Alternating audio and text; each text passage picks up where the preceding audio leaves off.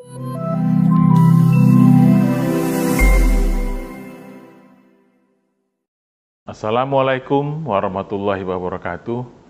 Keterbukaan informasi publik menjadi ruang bagi masyarakat untuk meningkatkan peran serta dalam penyelenggaraan negara dan mendorong pengelolaan pelayanan informasi agar menjadi lebih baik.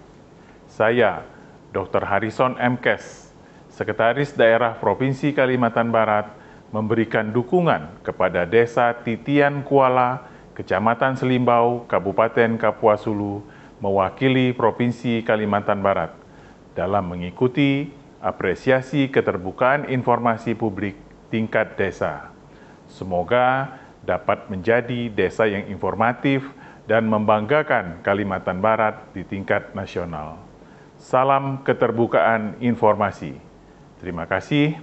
Bilai taufik wal hidayah. Wassalamualaikum warahmatullahi wabarakatuh.